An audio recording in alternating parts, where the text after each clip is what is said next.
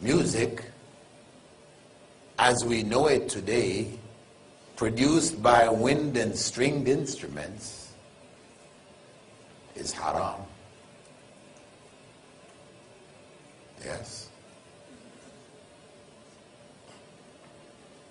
It has entered upon us.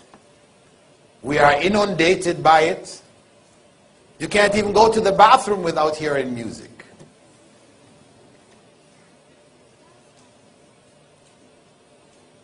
I mean, something I experienced in the West, but I also found it here. I went to a couple of bathrooms here and I heard music coming at me, piped in. What is the purpose of that? Make you hurry up and get back out and get back to buy or what?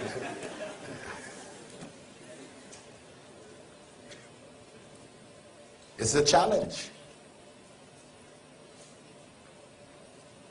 And we should be clear on this point. Because, of course, you have people who will say, oh, Ibn Hazm. He said there are no authentic hadiths on music.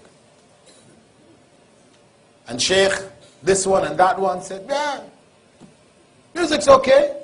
I listen to it.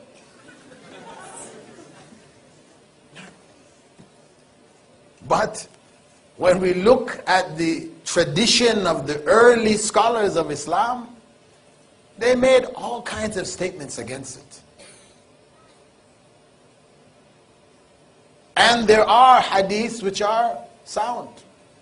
This topic, we should research it and be clear on it. Not go according to what is pleasing to us. That shouldn't be our criterion. Because I like music, I like to hear those who say it's okay. Those who say it's not okay, I don't like to hear them. This is not our criterion. You know, some people say, well, you know, Dr. Bilal is an old guy, you know he doesn't uh, he doesn't listen to it because he he doesn't really know. Well, some of you may know that yeah, I used to be a lead guitarist in a rock group. Yeah. It's not a part of my bio. but that was the reality. When I lived here in Malaysia, yeah, in East Malaysia, in Sabah, I was lead guitarist. Alhamdulillah, I found Islam. My bass player also found Islam, and the drummer also found Islam later. Alhamdulillah. None of us played music after that. But the point is that the allure and the power of music, I know it. And it became so obvious to me when, after accepting Islam, and I was still playing in nightclubs, I accepted Islam, and then I divorced myself from the culture of the other members of the group in which I played. So I didn't participate with them in the intoxicants and things that people were doing and taking. So in the nightclubs, I used to be the only sober one. I'm there playing away and people are dancing and and you know, I just looked at this and I could see that this was so devilish. You know. When Allah speaks about, you know, how shaitan prods the people, يَعُزُّهُمْ أَزَّا, you know, that's exactly what was going on, you know. I could see it. It was clear. Clear. So, this power that music has over people where people end up loving it. Loving it more than they love the Quran. This is يحبونه كحب الله. Their love for it, and that is why even attempts to replace it with anashid. Okay? It started out innocently, but then the anashid ended up like rock groups. The anashid artist comes in, there's smoke on the stage, and you know, he's, hey, what's the difference? It's gone right back to that same thing. And people will enjoy listening to anashid. You turn on the Quran and say, hey, no, I want to hear this, uh, this artist or that artist. They feel more pleasure in hearing anashid than hearing the Quran itself. What is that? What is that scale? What has happened here? This is real. As some scholars refer to music, they refer to it as the Quran of Shaitan. Satan's Quran. And it goes into the heart. And it occupies the heart. And when it occupies the heart, there's no room for the Quran of Allah. That's the reality. It squeezes it out.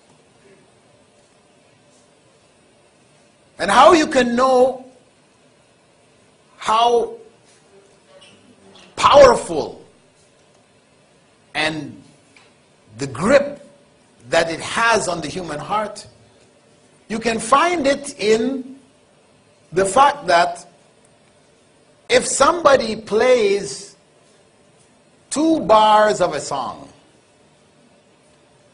which you didn't hear for 20 years. You heard it 20 years ago when you're a kid. But all you need to hear is just dun dun dun dun.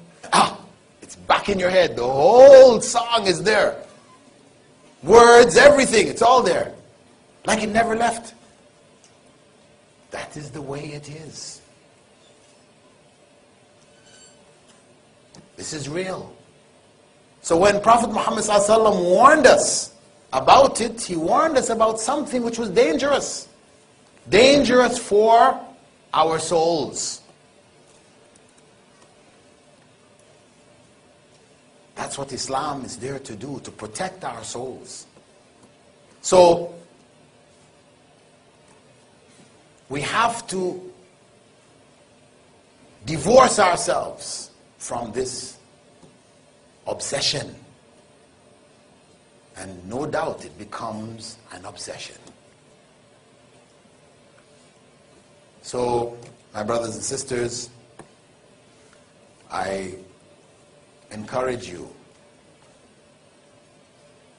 to stop for a minute and reflect. Many of us are caught up in currents. We're just going along in a stream. We don't really have any control. We don't have time to stop and think about it. We're just in it. We need to stop and think. Because we really don't know when we will breathe our last. As young people, you might think, I got a lot of time. How many young people didn't have a lot of time? That's reality. So we need to stop and think. And to turn back to Allah and to love Him and worship Him through our love of Him by obeying the Messenger of Allah sallallahu alaihi wasallam. We need to do that in order for this ummah to succeed. It is the only way. We can chase the dunya, replicate the West, their lifestyles, etc. But where does it lead?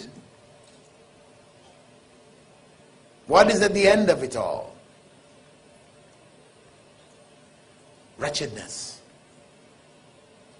we have something which the rest of the world does not have Islam.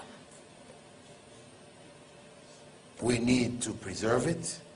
We need to take care of it.